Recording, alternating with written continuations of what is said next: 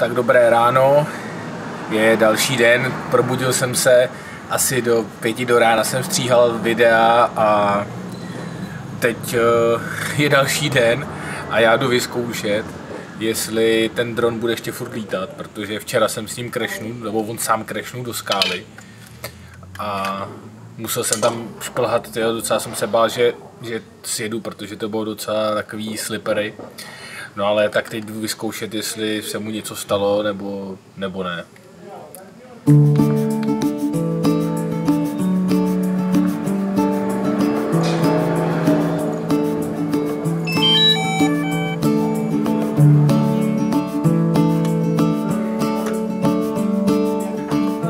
Super, všechno funguje, takže já můžu jet na to. Dneska mě čeká cesta do Kutaisi a asi možná dojedu i dál do Tbilisi, už tě uvidím, jak to bude odsejpat. Dron je trošku pomlácený, ale vrtule přežili, takže super a já jdu na to.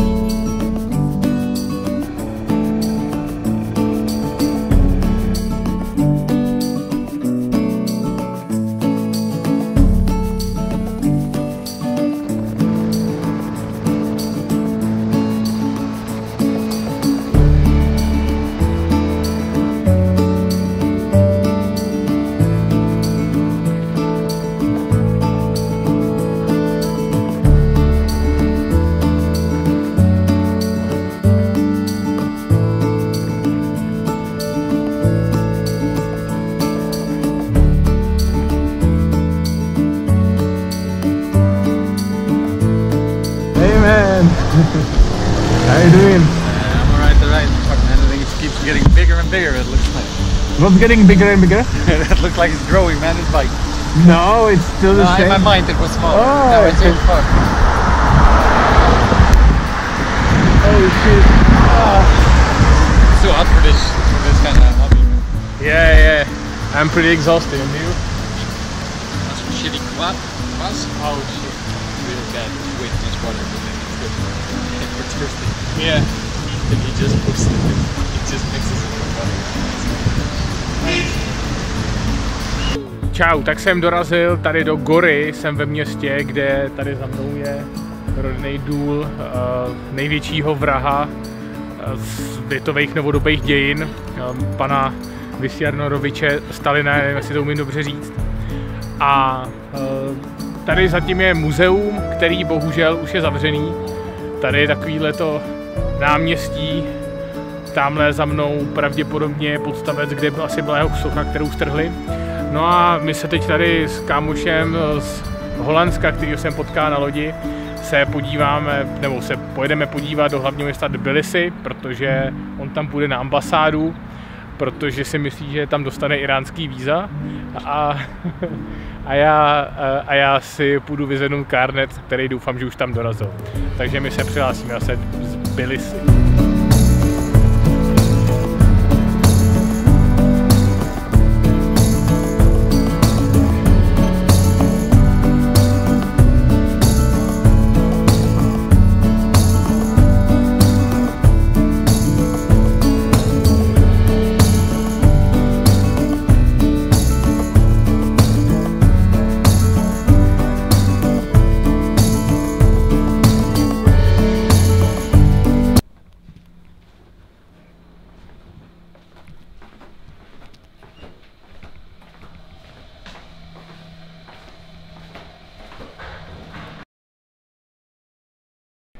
Čau, tak jsme konečně dorazili do Tbilisi, je další den ráno, já jsem tady takhle nechal motorku zaparkovanou venku, protože tady těma dveřma by dovnitř neprojela a um, tady majitelé ztratili nebo nemají klíče, nebo ty, co to mají pronátý, nemají klíče od brány.